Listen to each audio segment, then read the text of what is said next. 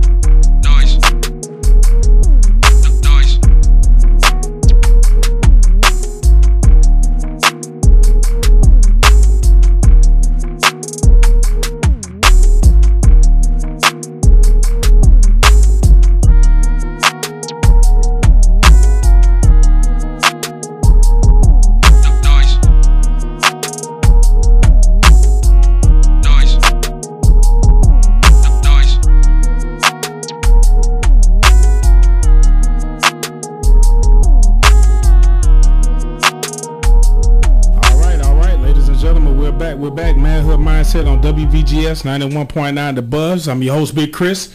Uh, thank y'all so much for tuning back in. Uh, we got a really good show for y'all this evening, man. Like we said before, every week we got a new topic and a lot of th- different things that we're talking about each and every week. Uh, but basically, the basis of the show is we talked about manhood uh, on all levels, man, especially everything that's uh, affecting us in our communities we're really trying to figure out exactly what we're supposed to be doing with all this uh, uh, politics is going around, economics. We talk about capitalism. We talk about family issues. We talk about everything up under the sun and what men are supposed to be doing in our communities, man. So basically, for this show, this is our contribution to our community, and we have a very special. Um, show for y'all, man. We're going to have a really good dialogue. I know a lot of people have asked not only for the manhood mindset, but we want a woman's perspective on manhood in our community, man, because we want to make sure that we include as many voices as possible and see how they see manhood and see exactly what we're supposed to be trying to do moving forward, all right? So like I said before, my, my name is Big Chris from Atlanta area, man. Grew up in Ellenwood, South DeKalb County, man. Cedar Grove uh, High School representative, of course, uh, to the day that uh, they cancel all my records. All right. uh, but thank y'all so much for tuning in, man. So we're gonna uh, we're gonna let everybody introduce themselves, man. Truu, we're gonna start with you, Doc. Truu Amir, uh, rapper, writer, uh, what's what's the word for doing poems? Spoken word artist. Spoken word artist? Yeah. Yeah. I don't do those often. It's not poet. Poets, there we go. Oh, okay. That's what we needed to I don't, I don't do the, I don't do those often, but I do do poetry. I, that's what I was gonna say, but I was like, that's not the word. But anyways, um, yeah, I am a leader in rap. Well, the original member of rap, Random Acts of Poetry. We meet on Thursdays. Um, for any of that information, you can hit me up on Twitter, Instagram, Facebook, T R U U A M I R. Got you. Got you. Got you. Got you. All right. Who else we got in the building? I guess I'll go. Yeah. Um, not a stranger. I was on the show last week. Once again, my name is James Thomas. I am a doctoral student here in public health, uh, community health behavior and education program. I'm also a TA. I teach intro to community health. Shout out to all my students. Hope y'all studying. They're not studying, bro. They're not studying. No, they're not. Now that they're listening to the show, they're not. Yep. But um, They can multitask. I think multi cheat. yeah, but um, I'm no stranger to GSU. Been at GSU for quite a while. I got my undergrad here and my master's in public health as well. And um, yeah, that's it. That's what's up. That's what's up. And last but certainly not least, and the reason why we have our show today, Right. that's what's up. Please introduce yourself. So I guess I am a stranger. Um, Not really in, in the booth, maybe. But Right, I'm a stranger to this re- setting. In real life, you fam. You know what I some people know me, maybe. Anyways, my name is Daisja Dukes, and I am um, a woman, clearly. And Outnumbered. Exactly. I'm a triple minority. Yeah. Um, we'll talk about that in a second. But um, yeah, my name is Daisja. I am a mental health therapist. I actually work here at the counseling center as a therapist. Um, but I'm not new to Georgia Southern as well. I'm, I'm a double Eagle. I did get my undergraduate degree in psychology here and my master's in clinical mental health counseling here. Gotcha. Um, and now I work here. That's what's up. That's what's up, man. All. I'm here. All righty. Well, um, Well, let's just um, let's get into it, shall we? Uh, just just in case some people were not here last week, let's go ahead and give them a brief description of what we talked about last week and what's the reason why we wanted to move into the topic, more like a part two. So, uh, James, we're gonna start with you, man, and then Truu, I want you to chime in, and then Daisy, we're gonna let you know what direction we're heading, and then we want you to lower the boom. All right. All right, James, what do we what were we talking about last week, bro? Uh, just to do a brief recap of last week. Last week we kind of got into some things talking about masculinity. Um, we started off talking about toxic masculinity and defining that, and what does masculinity mean to us as an individual. Right. And then I got into you know some of the dynamics of my dissertation, Right. which is still in the works, but we you know we're breaking the groundwork for that. For sure. And um, one of the things that I'm looking at is black masculinity and how it relates to health behavior. Right. Because I'm in public health. And one of the interesting things I found out was that black, you know, across ethnic backgrounds, we all have different definitions of masculinity. Right. And one of the interesting things I found out is that black men, um, in the study that I read, they define masculinity more so by how the family values them, how their wife values them, how their children value them, how they're seen in the community as a pillar in the community. Okay. Um, and spirituality also ties into that as well. Um, having a connection with God or a higher power or whatever this person believes in their belief system. Okay. All of that is combined into their per into their perception or their view of masculinity. Okay. So basically, in my dissertation, one thing I'm looking at is how do these components that black men use um, tie into their health behavior? Because one of the things that we know is that health of black men is in a crisis state. Okay. And what I mean by that is that we tend to have less favorable outcomes than men of other groups. Okay. Uh, we have least, uh, we have lower life expectancies. We have lower quality of life. We're more likely to be diagnosed with chronic diseases. Um, and one of the interesting things that I found out, you know, in public health, they'll always tell you the more money that you make, the more likely you are to be healthier.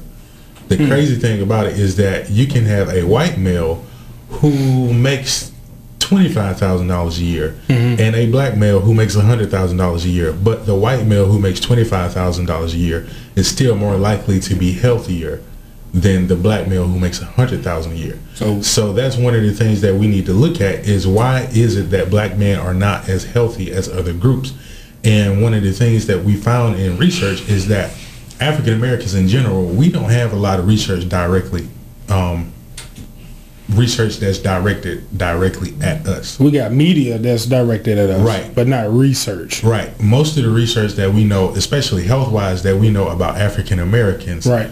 are kind of like sub studies. It's like this is what we really looked at, and I, by the way, African Americans do this, or African Americans are more likely to do this, Right. and that's really not serving our people or my people any any any good. And that's one of the things that's is a really big gap in research Okay. of oh, okay, what do black men differ in ways Okay. than other groups, and how do we find out these things and how they differ? And how do we use that to address health concerns and health needs? Okay. Because that's clearly not going on. There's some efforts to do that, but there still needs to be more work in that. Hmm. And that's just the one of the facets of how masculinity and manhood is so important to know about, especially in the black community, is Okay. because our health is related to it. Right. Right. And um, that's just a very important piece. And that's one of the things I'm hoping to open the door for for my dissertation. Not trying to save the world, but I'm at least trying to start a conversation to save it. Save somebody. Yeah. Save somebody. All right, Right. Truu. What is, what are some of the things that we mentioned last week, kind that you kind of want us to elaborate on tonight and help somebody out with? What do you remember about last week or a feeling about last week? Primarily uh, the conversation that James just brought up. Um, just speaking, I don't really want to go too deep in male toxic masculinity, but I do want to get your opinions on what you view as uh, toxic masculinity. That's Daisja, right? Yes. Yeah. Um, and how that does affect you, or how you see it affects men in your life or around your life, whatever, whatever. Um, that's pretty much the bulk of the conversation, along with what James was just mentioning For uh, sure. last week. For sure, for sure. And I think um, one of the things that stuck out to me is uh, sometimes uh, toxic masculinity is not necessarily what we see in people, but what is actually expected of people. Uh, we talked about how sometimes masculinity is almost uh, a wager. Uh, of acceptance, right? Mm-hmm. Like, so we talked about last week, like where somebody says you're not a real man, and then they fill in the blank with something that they want you to do, mm-hmm. right? Yeah. Or they'll put some type of expectation over you and say, well, in my family, you're not a man until you do this, and then they go and force it, right? Mm-hmm. And one of the things we talked about, man, just because we're the same skin tone, don't mean we're the same culture. We may have similar treatment, and sometimes we turn our treatment into a culture, our reaction to that treatment. So we may have, we may be looked at, uh, uh, looked upon the same way in our in our society, right? So people with dark skin are usually have been histor- historically mistreated, you know, and just in the world, period. Um, but our mistreatment is not necessarily our identity, right? And so sometimes we need to at least have that that dialogue to see what we can navigate through that, so we won't be as confused. So we're really talking to little kids right now. So say for instance, we just pretend like it's a like a eight to twelve year old listening right now. So it's some people may not may know what we're talking about. We're gonna try to break it down for somebody who's just now getting into it, seeing stuff on TV Absolutely. um, maybe in, in turmoil with their own parents, maybe in turmoil with their own teachers and administrators at the elementary school and stuff like that. So, uh, based on what you've heard so far, uh, it was extremely requested that we have a woman's point of view on manhood because a lot of people don't understand how either the lack of manhood or the misrepresent- misrepresentation of manhood what that can do to woman's or to a woman's mindset. So, just what are your thoughts on what you what you've heard us talk about so far and and educate us? What's up? One, I like to say um, it is a big responsibility to speak on behalf of all women. No, you're not. Um, let me let me let me clear that.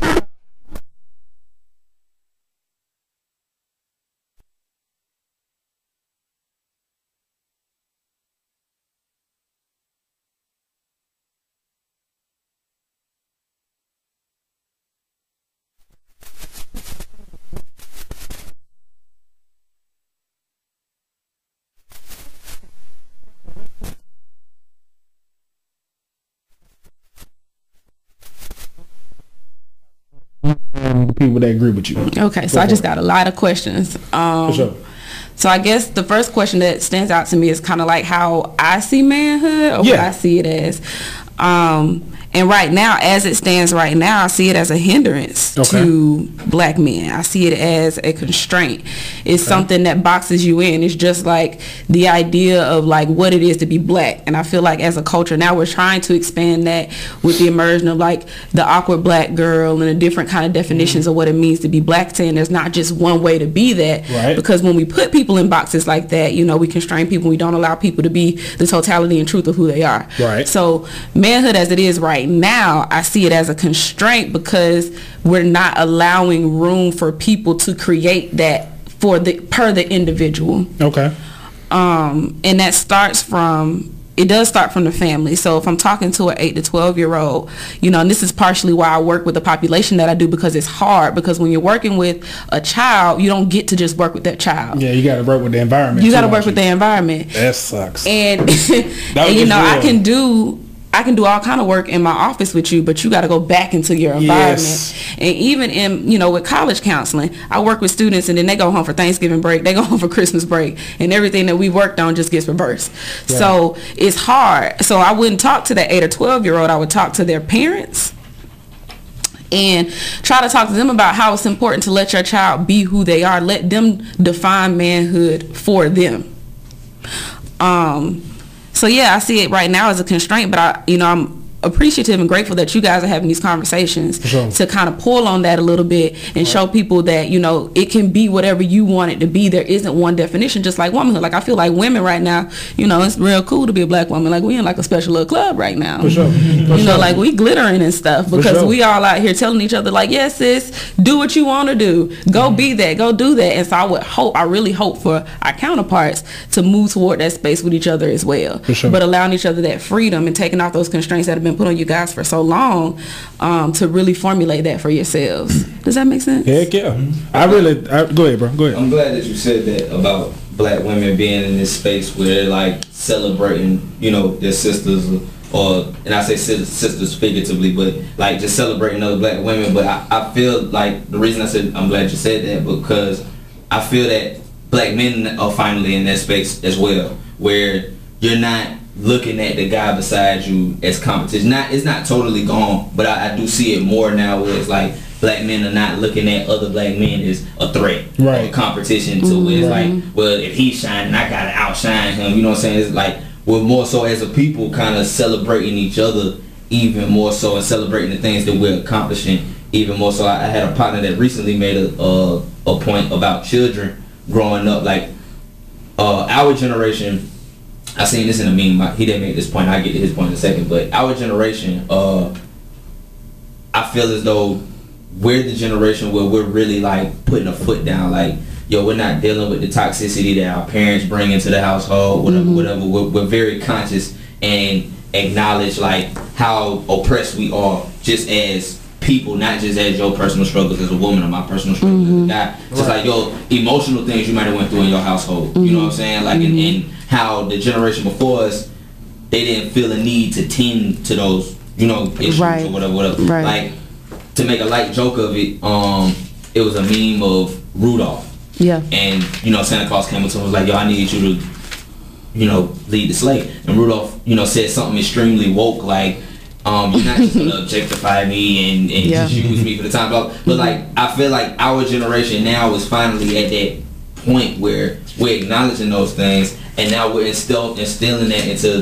the children that are coming from us. Yeah. So where these kids, this is the point my homeboy made, these kids are now growing up less homophobic because we're having these conversations about homophobia. You know what I mean? And we're having these conversations about transphobia. And yeah, it, it stirs the pot and it causes these issues, but that dialogue creates that, Yeah, you it pulls on those constraints. Yeah. It loosens them a little bit. But I would ask this question to you: Do you think there's some level, um, depending on your socioeconomic status, that contributes to you being able to um, liberate yourself to that point? Yeah, definitely. That plays a part. Okay, so um, like all of us in here are college educated, correct? Yeah. Okay. To an extent, I didn't finish, but Oh, well, I mean, you here, you was a part, Yeah. you know, and the people you around are college edu- college educated. So, yeah, we are because we live in the hub of where we have those conversations intentionally. Like we live in a space where dialogue is encouraged and challenging things are encouraged. Like that is kind of like the essential meaning of going to college, right? We're introduced to all these people. Um, I'm first generation college student in my family. So if I go back to when I first came back to college, it's kind of like I had drank the Kool-Aid on a, on a bunch of stuff when it came to Yeah. limits that were on me, limits that I put on other people, my thoughts on homophobia, my, on homosexuality, um, sexuality in general, my own and others, right? But because I feel like a part of my evolution came from the population of people that I that I was around, right? So it sometimes when we the educated peoples or people who've college educated people, sometimes we can get into our little cluster and think that because we are progressing in a certain way, the world as a whole is progressing in a certain way. Yeah. When really it's just that we keep ourselves kind of isolated or um, we live in a microcosm. Yeah. Um, so if we were to go, because if I go back to my community where I came from, the same progress that you're talking about ain't there. Yeah, that, I agree with that as well. But like like you said, you came from that kind of neighborhood. You was you, you was a first generation college student. Same here. Me and my, my brothers and sisters, like we would. My sister was the first one to finish college. My, my father did go to college, but he didn't finish. My mother didn't finish. She went to community college, whatever, whatever. But my sister was the first one to finish. I didn't, but I did go to school, whatever. Um, my younger brother's in FI, FIU now, and that's a big deal for him to be in FIU since expensive school. But but um, like so I do get it, but like like I was saying, your point, you came from an environment where you took whatever opportunities was in front of you to change that outcome that preceded you or whatever. I do feel as though school, yes, it's a safety net. You live in inside of this bubble to where you go back home during Christmas break or Thanksgiving break and you start talking all this woke mess and you know you find out how homophobic your uncle is or something like that. You know what I'm saying? Like you, it really shines to you now because of the things that you learn, whatever, whatever. Yeah. And I'm not saying I, I use that as an example. My uncle is not homophobic, but um, Even if he was, it's okay. We all come from somewhere. we got to start all- somewhere. But I just want to. Do y'all, do y'all mind elaborate on the word phobic for people who may hear that word but they don't understand the, I guess the whole implication of the word phobic? Can y'all? Phobic, just to break it down for an eight to twelve year old, is fear of. Okay. That's what I was gonna say. Okay. So Fear of. homophobic, fear of It's a, homophobia. it's a, it's a it's a sense of prejudice towards those kind of people. I don't like putting it in in that wording, but like that's what it is, a form of prejudice. Just like you have a prejudice of black people or whatever. And for the people who like, say for instance, you got a lot of people out there that may not understand it, but they don't necessarily hate it or fear it, but they don't necessarily uh, fall in line with the belief system, or or the uh, a lot of people think it's a belief. Some people think it's a habit. Some people think it's a human activity. Some people think it's an identity. A lot of people. One thing I really find out about a lot of the stuff we're talking about. A lot of people get their information from TV, Yeah. movies, reality shows. you know what To I'm me- saying? To me, that's still prejudice and, Yeah. and dissonance. Right, right, right. And and see, this is the thing. So some of us have been um, have had conversations with people who may self-identify with their culture background, right? Yeah. Some of us have never ever talked to a human being. We just only seen what's been projected on the screen. Yeah. And a lot of people don't know is that screen has producers, editors, actors. A lot of people get paid to Yeah. project that type of image on the screen, right? So um, as far as that phobia, what's the difference between phobia and I just don't personally align with that culture? What's the difference? I think I don't align is um, prejudice. It is prejudice. Yeah. Okay. So phobia is literally a it's hard for me because I think if we boil anything down, most times at its base there is a fear there. Okay. A fear that, you know, what I've been taught all my life is wrong, a fear that I'm wrong, a fear that I could be something different, Right. just if we go deeper than what we're saying. I Right. think at the base it's all fear. Right. But um, yeah, I think, but if you describe it like I just don't agree with blank or that's just and it and it really isn't about your belief system it's about how you act Right. so if you say i don't agree with blank so therefore i don't talk to blank or i don't go blank then that's prejudice and discrimination Okay. All right. And and James, I want you to chime in on this because we like some of the words that we're using. We ha- I know I, it may be a definition and some the things that help me out. A definition is something that we can all reference, right? Yeah. A meaning is something dealing with our history, our personal experiences, Yeah. all and what things that make sense to us, so we can actually move on with our lives, right? So meanings and definitions often conflict Mm-hmm. based off my experiences. It's not true for everybody, but sometimes something means something to me and it's defined something different. I'm like, nah, I ain't see that. and that's why we have operational definitions There is Right. the definition of whatever the operational is how am i using this definition Right. And a lot of times people don't understand that the definition came from people who had enough power to edit the dictionary. absolutely You know what I'm saying? So you know what I'm saying? So we're still ultimately taking their word for it Yeah. based off their experiences and the people they talk to, right? Right. So that's the reason why we have these, you know, these types of discussions. And and honestly, with manhood mindset, it's not necessarily something to to agree with. We ain't trying to program nobody. Mm-hmm. It's it's I think it's just healthy for us to at least say, man, I don't agree with that. You know what I'm saying? Man, I really don't agree with that. But I know why. you know what I'm saying? I think people some some of us fall into a situation where we disagree because it feels good just to be that dude that disagreed. absolutely You know what I'm saying? But I find out the older as I got, I like it's not that's that's not enough just to disagree. I get high of knowing why. Like people that So you always can- want to play devil's advocate. Right, right. You know what I'm saying? Just because. Yeah, yeah, yeah. So James, back to you, man. Like, say for instance, what's the difference between, in your opinion, and what you researched so far? You know what I'm saying? And I know you talked about uh, a lot of black male experiences, especially in higher education, and coping mechanisms with stress, right? Mm-hmm. And a lot of that stress is based on identity. Right. A lot of that stress based off environmental factors as well, right? Mm-hmm. So dealing with necessarily quote unquote something that you may be scared of and something that you know what this is just not that's not beneficial to me. I don't line up with that cultural uh, expression, background, or that type of information. Mm-hmm. How do you differentiate the two, and what have you seen so far in your studies? And Daisja, I want you to respond to what you've hearing. okay All right. Um, funny thing is, I was just lecturing last, last when was it? Last week, and um, the lecture was on community organizing. And three of the terms that we used was cu- cultural sensitivity, cultural humility, and cultural competence. And basically, the three of those is understanding, appreciating, and um, being able to not necessarily you don't necessarily have to be a part of somebody else's culture, but you understand it and you respect it Right. um, the problem with today's, um, I guess, population, and that's one of the things I'm looking at as well, is that a lot of African American males, and just using the, this group as an example, when we come to an, a new area or a new environment, um, cultural competence is not necessarily used. And what I mean by cultural competence is understanding somebody else's culture. Gotcha. So a lot of times, and even other students of color in general, they come to a university or any type of new setting, they don't feel understood. They don't feel like um, maybe they are connected to the school, or they don't feel like the school is a place for them.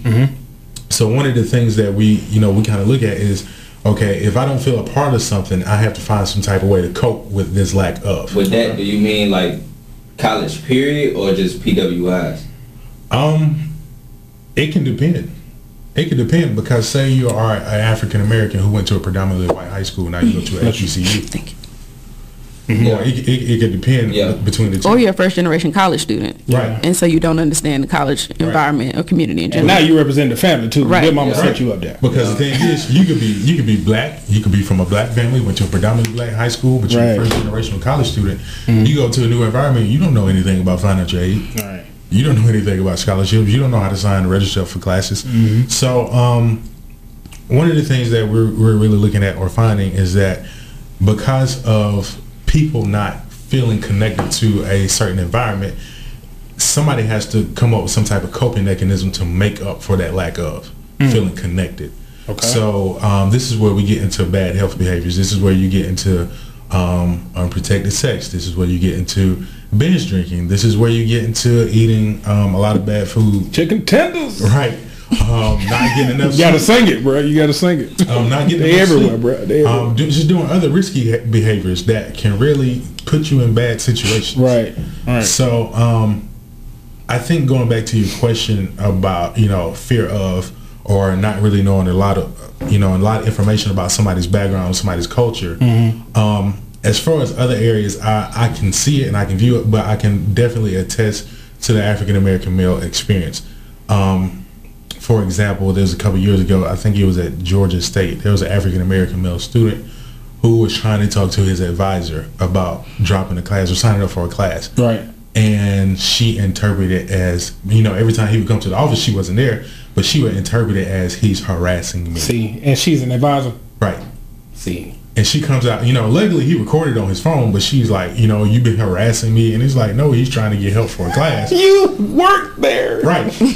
Right. God, the common sense. right. Please Even- download it. even um a couple let's see a couple weeks ago it was a, a young african american man who went to old navy i believe uh, one of the stores.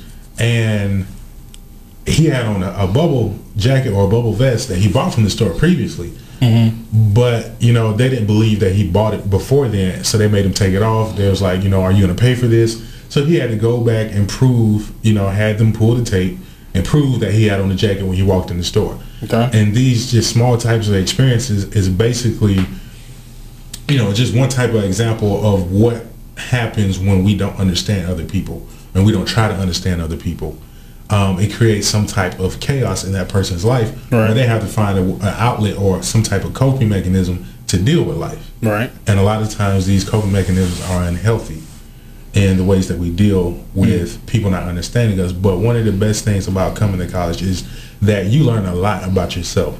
And one of the liberating things about, you know, college and being around like-minded people is that you learn who you are and you have your own expectations for yourself and you kind of, you know, the expectations of the world are still out there, but you Right. you slowly fade those expectations out and you really start to embrace who you are as a person. Gotcha. and that's where the healthy coping mechanisms start to come in. This is where you get you know people who may express themselves through art or poetry. This is where you get you know random acts of poetry people mm. expressing themselves mm-hmm. or just different types of, of other activities that people may use to to do that type of thing Daisja, and when you in the counseling center and you in, engage with um, men, period, um, and then I want you to talk about specifically men who may identify as being black or non-white or any man who may be under any type of level of, uh, I'm gonna say just oppression or any type of difficulty based Person on of how color. they look. Yeah, yeah, yeah. Um, what have you seen, and what do you think is needed? From What your, from your point, seen? not only a clinician but a woman. Okay, so I meant to say this earlier, and I think you asked me the question about how manhood today affects me as a woman. Yes, yes. I want you to go in on that, please. Um, so as a heterosexual woman, cisgender heterosexual woman, who, um, of course, has relations with men, at the constraints that are on a cisgender heterosexual males right and now. what's cisgender to the eight-year-old who's listening? Cisgender means you identify as the sex that you were born into. So straight. So, young man, if you were born a, if you were born a boy and you identify as a boy, because some of them You feel never, ever internally right. You feel before, right? internally like you identify as male, Right. and you were born with male genitalia. Then you are cisgendered. And that's going to be confusing because he was like, "Why wouldn't I feel that way?" And then that's when we go into all of those That's the- things. yeah. right? So, but That's and, and, and other due time-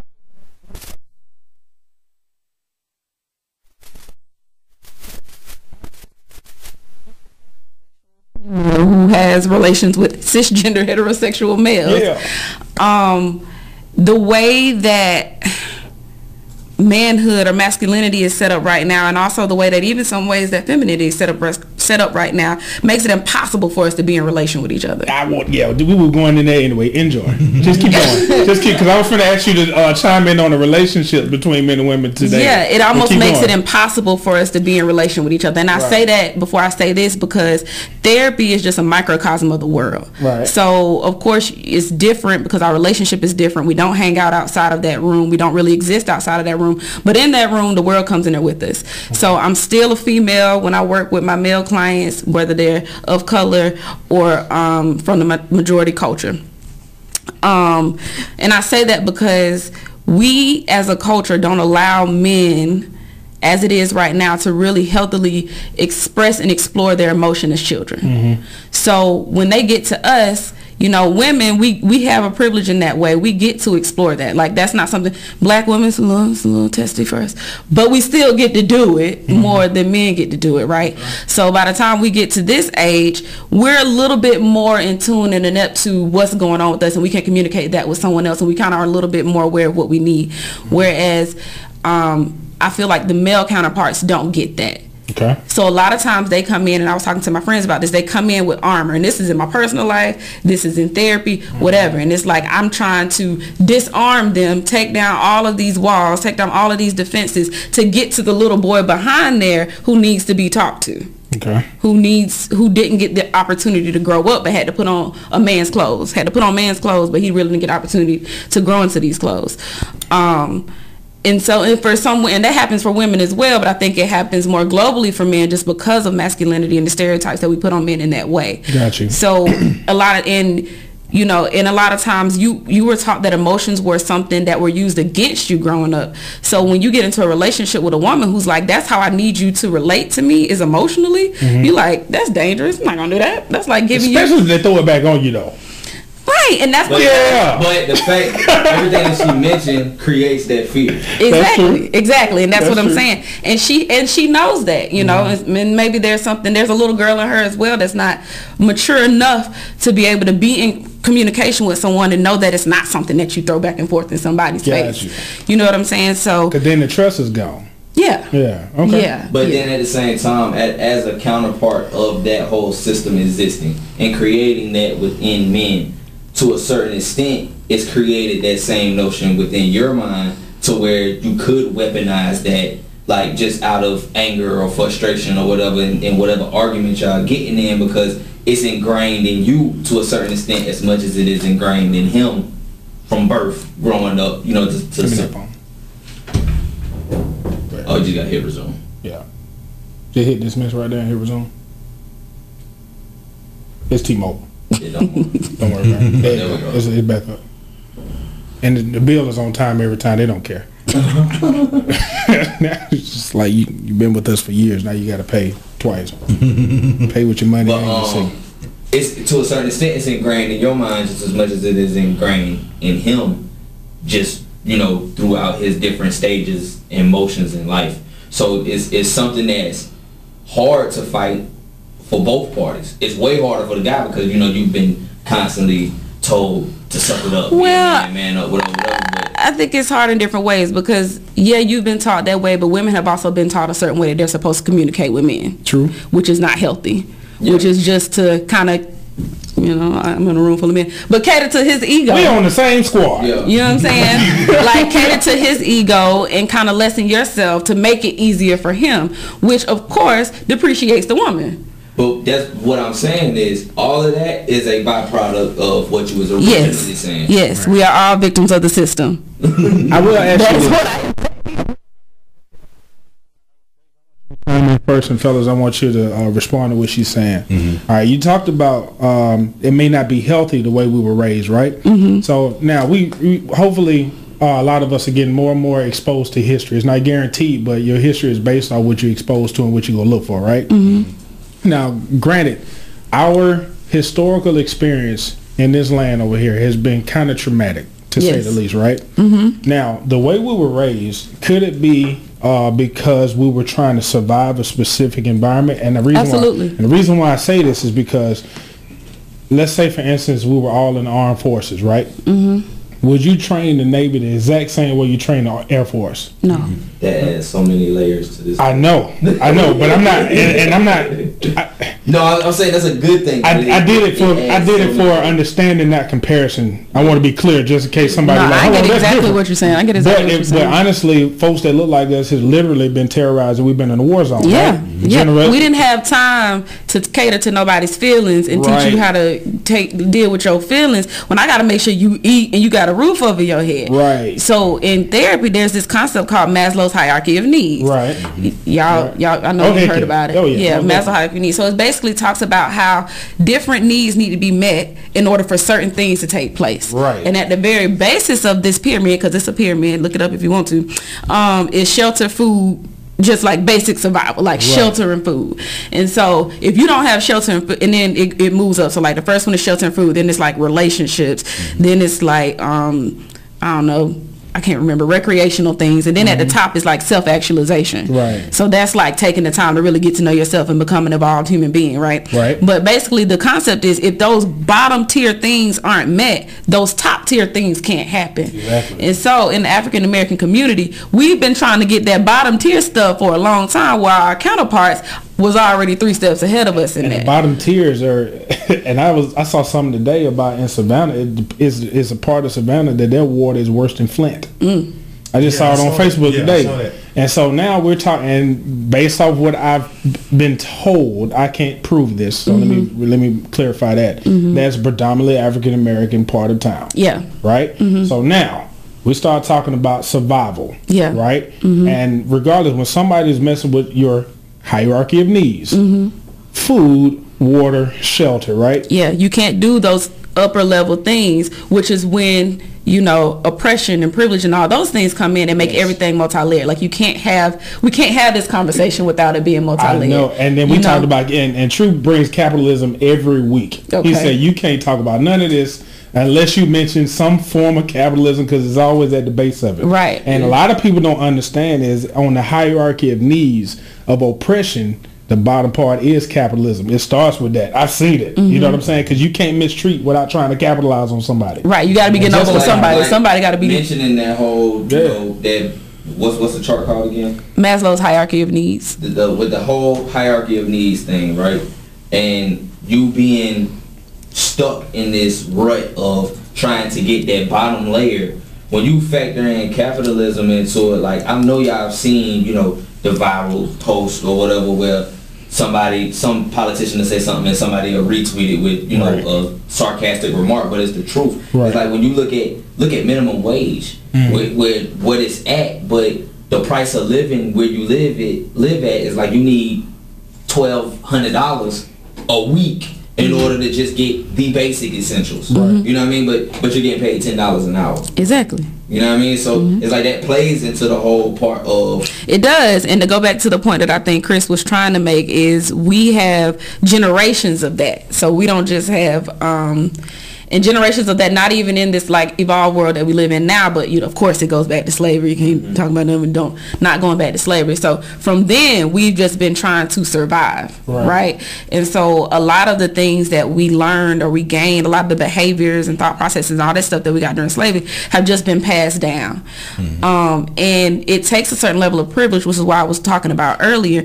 Um, you know, being college educated, that is a privilege, and we we get to sit in a certain circle of people, right? Because the fact that we're here means something about the people who got us here. It means something about them. You know, it may not mean the perfect thing, but it means something about them. So it, you know, for me to be where I am, to be able to sit back, like I think Dave, y'all y'all like Dave Chappelle. Ah, he's the goat. Okay. Well, y'all know he just did like three Netflix um what are they called? Specials. Mm-hmm. And he said something that just like really stuck out to me. He was like, you know, I did something the other day that most black men will never have the opportunity to do. Mm-hmm. I had a chance to ask myself, how do I feel about that? that is depressing, but it, But it's so real, right? Like It it, was is like exactly because he was like most Okay. black people are just trying to figure out how I'm gonna get what I need for my people. I don't have time to sit back and think how do I feel about that. And so I think that's true. I think that's the point that you're making here is Right. that for a long time, you know, we haven't been able to teach each other something different, and that's why a lot of times college people are the ones to break the cycle because we get to go and I mean this is privilege. Like it's hard to be in college, it's stressful, all that stuff, but this is a privilege. We live in a microcosm where food is provided, all these things are provided. We get to sit back and say, I want to go to this forum where they talking about manhood, and I'm gonna ask myself, Right. how do I feel about How do I feel about that? A lot of our, you know, people that came before us, they didn't have the opportunity to do And the funny thing is, just real quick, since we're talking about Maslow's hierarchy of needs, I actually taught that like a year ago in my stress theory and management class. But anyway, um, Okay.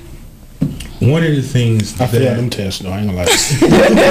I failed all that. well, one of the things um, that I was reminded of is that at the bottom of that hierarchy needs, we talk about uh, food, clothing, and shelter.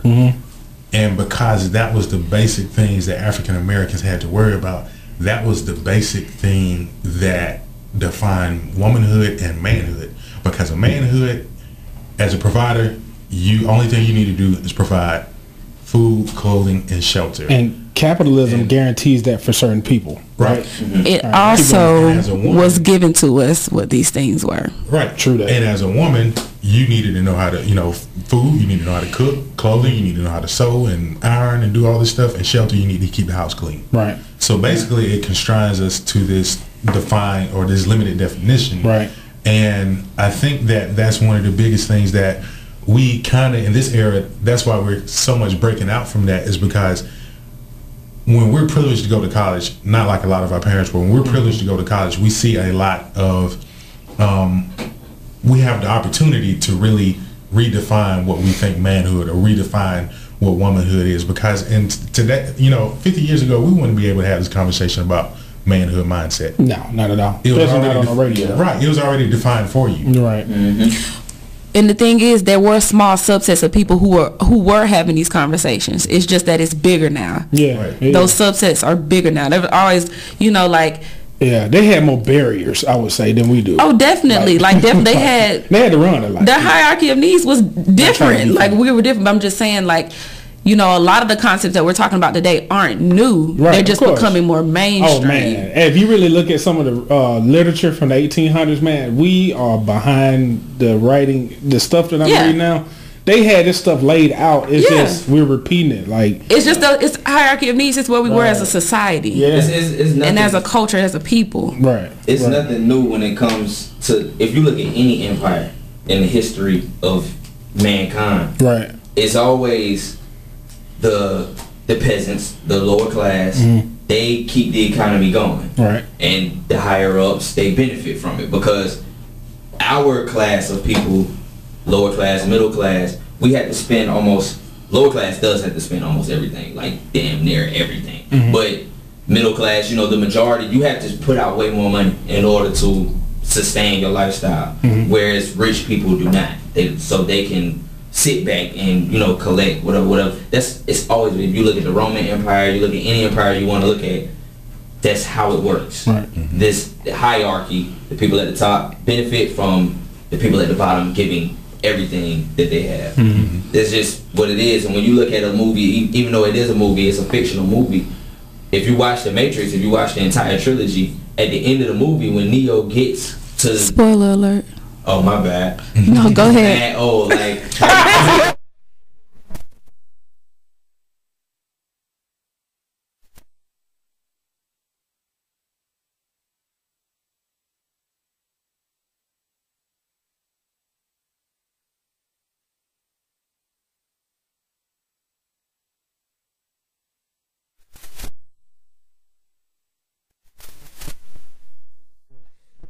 turn off right now. But um, when he gets to the end of you know to, to end this destruction that the machines are causing on the, the real world, quote unquote, and he gets to the um, I forget what the the guy's name is. They call him the computer or the master or whatever. When he gets to that door, he reveals to him like, "You're not the first, you know, the one." To make it here, like this has happened like ten times. The Exactly. just reset itself, Exactly. and then it all starts all over again. Yeah. So it's nothing new. It's just something that our era or, or whatever has to figure out as it's been figured out. Before. And we're doing it more as a collective consciousness, conscious together, like as a society. Like I said, you know, there've always been people who've been having this conversation, and you know, are we raising our kids the right way? Are we allowing men to be this? Are we allowing women to be that? They just have been smaller groups of people, Right. Yeah. And now it's just more mainstream. You know what I'm saying? Um, yeah, I lost my train of thought. No, it's yeah. all G. No, I think I think um, for the most part that we're talking about is a lot of our environments shape what we think manhood is, and and honestly, some of the things that I've not only been raised to believe, but some of the stuff I witnessed is the men are kind of equivalent, depending on what culture you ask, is the army of that community. They're the protectors, right? They to enforce like some type of discipline and things of that nature. Some people say, man, we need protection. We need more men in the neighborhood. Some of this stuff won't be going down, right? So based on what I've seen is it's more of a military type thing that yes, when you are in war, it's almost like saying somebody goes off to war in Afghanistan or something like that, or Korea or something like that, right? And they've been in a war mindset and our and our identity is synonymous with trying to survive when we're literally getting bombed. Yeah. Well, we're literally getting mistreated and literally killed in the streets on camera, right? Yeah. To the point where our mothers are even scared to send us to the store just like they sending us to Iraq. Yeah. You see what I'm saying? So now that whole mindset kind of really seeps into our whole existence, right? Yeah. And so now when we start thinking about what manhood really is, how can you come from that war zone and try to go into Family Dollar like everything's all right? Mm-hmm. You see what I'm saying? So we, we really are, I think the more candid a conversation of the the reactions to the environment. I think we really don't know how much stress we're up under. I think we have I won't even say normalized it. Mm-hmm. I think we've survived to the point where I'm not gonna say immune either. I think we're just to the point where we're still here. It hasn't killed us all yet. Mm-hmm. you know what I'm saying? It's become a part of culture. Right, and I don't want, and and this is why I'm, I'm thinking about that little kid listening. I don't want the suffering to be a part of it. Exactly. I, I, you know what I'm saying? Sometimes, Exactly. sometimes we can say, "Man, we've been through so much," and I said, "But we wasn't supposed."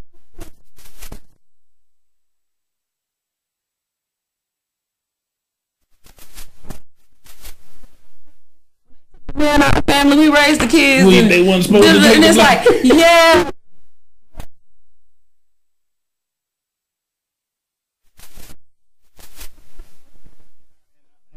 I want you to, because we're coming to the end of the show, but I really want your thought process to take us out. Because I'm, I'm, we're listening to not, well, we're thinking about the little kid, but I'm thinking about the young woman too, Mm-hmm. who's like, oh my God, they got a woman on there today. You know what I mean? And, and I want, yeah, heck yeah, hey baby girl. uh, but I want her to leave with something, just knowing that, all right, that's maybe a, a different way of thinking, or oh, okay, this is all right. I ain't stupid. Somebody else is thinking like this because she may be in an environment where somebody's not confirming her thought process, Mm-hmm. Yeah. and it was just confirmed by you tonight. Yeah. you know what I mean. However, uh, not however, but in addition to that, I would like to say, um, well, mash out this. Y'all ever heard of the crab in the barrel mentality? Correct. Yes. All right. um, many conversations I've had that no one really questions who put the barrel there. You know what I mean? Hello. the crab, and honestly, with a topic of discussion, if you really look at the crab, why the crab's acting like this, we're always the topic of discussion, not only in media and literature and statistics and all. that. Why are they acting like this? No one is talking about that barrel that we've been thrown into. That does not. It's not their natural habitat. It's not a natural like to be fearing for your life. It's not a natural habitat. You see what I'm saying? Uh, on on a on a on a consistent basis, honestly. Because think about this: the stuff that our ancestors had to go through, that stuff is in our is in our is in our veins right now. If we got that same blood, that same blood wrapped around all their organs and their brain too, and we got memories, and some of us are dreaming things that we've never seen before. We having flashbacks about stuff we've never seen. it's happening. Like we carry that stuff with us, man. So I think we're gonna There's actual research to support. Exactly. Yeah. It's psycholo- It's psychological, like uh, trauma. Yes, That vicarious trauma. Exactly, and it's passed down through, through generation. It's Yes. not necessarily tradition. It's a wound. Yes. You know what I'm saying? We literally are hurting, and it's not necessarily Generational curses, all right. And I think it's generational treatment. Yeah. like I think we just got a. look- I think we got a different. I just got to the point. My 98 grand, my 98 year old grandmother looked at me. She said, "I wouldn't want to be y'all." I'm like, "What? what?" I said, "But you grew up in the like in the early in the, in the 19 like in the 30s and 40s." I'm like, "You don't want to be us now?" They're like, "No, it's so much stuff we ain't had to go through." And I'm like, "Whoa, Wow. I really don't even know what we dealing with because we don't normalize it all." Mm-hmm. we may think we got it good because you know, and this is this is on me. I may think I got it better because I may have a vehicle. I got access to a, a, a university, a college and university. I got access to this. I got access to this. But on the outside looking in, they're looking at us like we don't see how y'all do it, right? Right. Because access access don't mean you have a better. It don't guarantee safety. Right. Like you can treat a, a soldier really good. You can give him caviar before you send him to the battlefield. Right. But if he's constant, like honestly, a lot of us are concentrating on the caviar. We don't even know we finna go I right had a into a landmine. legitimately look me in my eyes and tell me he likes when they're at war more so than when they're not at war because they get fed better. Wow. That's why some people want to go to jail. That's Yeah, it's serious. Like they they feed them better food because you could die tomorrow. wow. So they feed them better food on the regular, like when they're at war, when they're actively at war. I think also freedom can be scary if you haven't first freed your mind. Right, because you don't know what to do with it, and the guilt. And I'm, I know we talked about a lot of guilt that's associated with progressing when you see so many of your folks. you know what I'm saying? Absolutely. The barriers that they got to get Survivor's faced- remorse, survivor's guilt. Yes, all of that stuff. So uh, what I want you to do is I want you to I want you to really have our closing thought. All right. Uh, some of the things that we talked about tonight, and it's not like we, we like this show is just for it's literally for everybody who came to the booth. Hopefully, people can benefit from hearing what we're talking about, and then they Yeah. can carry on the conversation of however they feel like. But uh, it's not necessarily to healing everybody, because honestly, we may not have that power. Yeah. But I think we do have the power to make sure we don't keep passing down nonsense and abuse. Absolutely. That's the only thing I We can have a responsibility. Once you know, as Maya say, when you learn, teach. Yeah, When you yeah. get, give. Yeah, man, like so some- we have a responsibility to pass it down. Yeah, man. It's just like, look, man. You may can't put out fires, man, but put the matches down. don't start.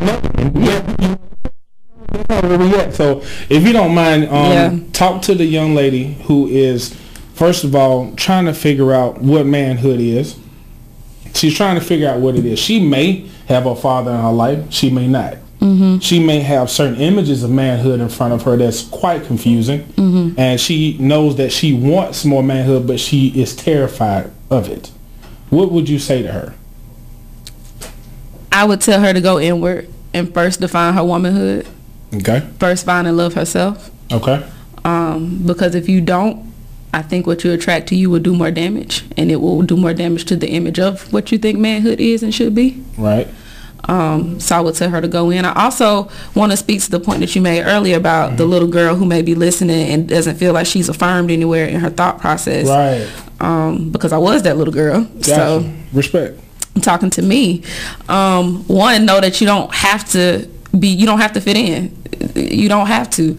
Um, people don't have to like you. They don't have to agree. You don't have to change who you are to be who you think you need to be um, to get love. It's coming. Keep living. Find your tribe.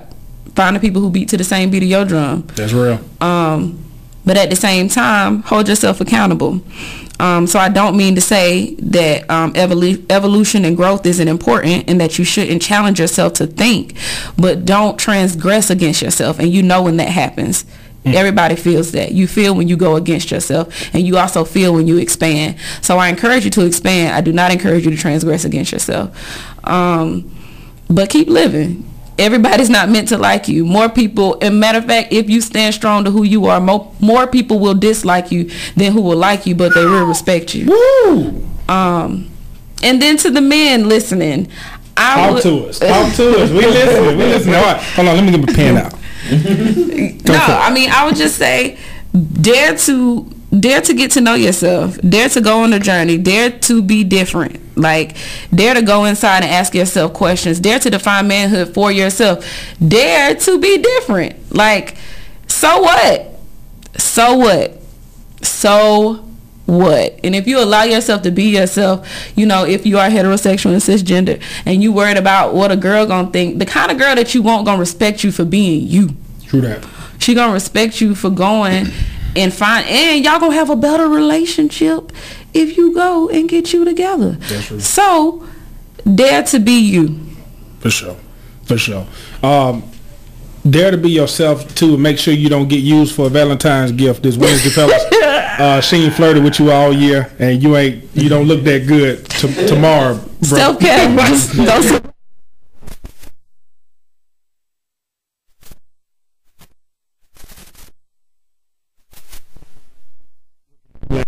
It's all of that stuff. Miss Dukes, thank you so much. For, Thank y'all. this was um, fun. Most definitely, and honestly, it, won't, it shouldn't be your last time. We're going to try to incorporate more different points of view uh, as the show goes along. But we do understand the severity of talking about the mental health and the mental uh, process of men, because I think across the board we see how important it is, and um, we, you know, this is our It's actually my favorite population to work with. That's what's up. Why? How? I mean, what? Not how, but why? Um, because I know how much of a gift it is just because of the world they live in. Wow. You know?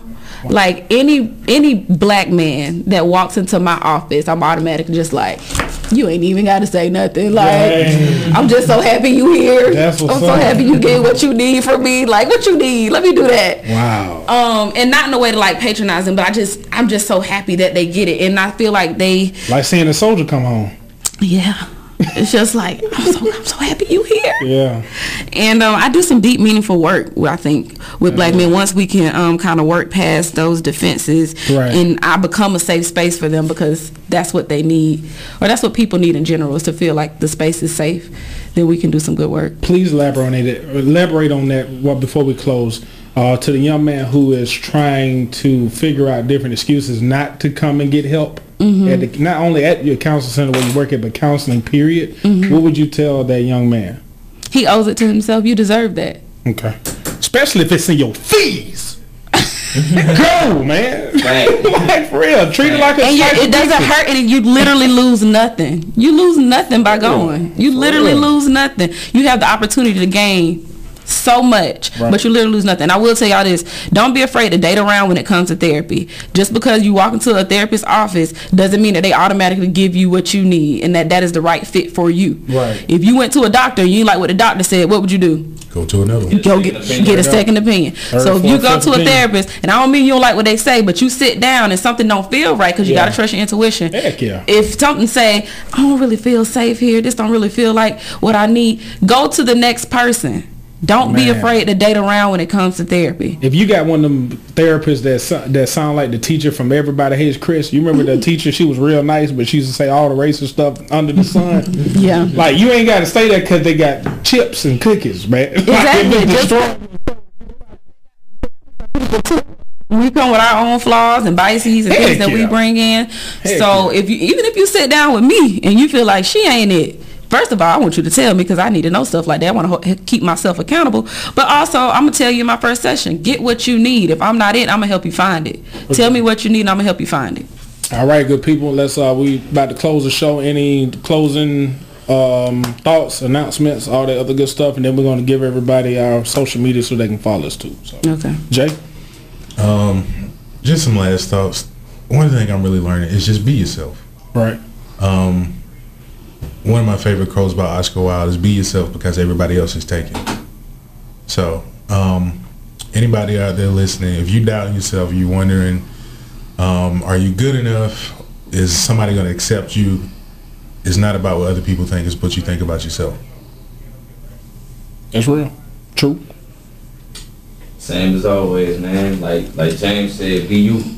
Be true to who you are, no pun intended. But at the same time, it is like be true to who you are. Be who you are. Right. Don't be afraid to be that. Um, like he's again, like he said, you can't be anybody else. They're they're already them. Right. You know, you're uniquely you for a reason, and the more you get to know you, the more you get to love yourself and learn who you are, and you'll draw that same type of energy. Just as Daisja said earlier, you know, those type of people will find their way to you. You don't have to search for it. You don't have to fight to fit in. Last but not least, man, hey, you don't have to encourage people to support you because the people who support you are already doing it without you have to ask. Please know that you don't got to worry about trying to record, uh, regroup and uh, recruit people to support your purpose in life because when they see it shining that bright, they're gonna draw to it and they're gonna already be supporting it without even you having to put them in position. Big fact. Straight up, man. So stop looking for friends and realize the ones you got. because I'm telling you, when, and I, I will, I will let you all know this. The people that demand most of your attention should be the ones that give you the most energy. Mm-hmm. I promise you this. We're going to have to stop watering the concrete and start watering the plants. Because all of these people we cutting out of our life, man, they probably were there for too long because you held on. Yep. like straight up. The people that's in our lives that want to be there who constantly support us and we never we don't have that many like uh, bumps in the road no barriers or something like that those your troopers. Feed your troops man. Water the plants. You ain't got to wonder what they doing because they there. You know what i'm saying? Just just love your folks man. So thank y'all so much for tuning in. This is another episode of manhood mindset man. You can follow me on Twitter, B-I-G-C-H-R-I-S-J-O-Q-E-R. I'm on Instagram, a Manhood Mindset. On Facebook, Christopher Pugh. Y'all got Instagram and all that good stuff you want to say? Here, Facebook, Twitter, Instagram, T R U U A M I R, Snapchat, T R U U H A Y Z E. Um, I got social media, but I don't do social media. There So if I told y'all,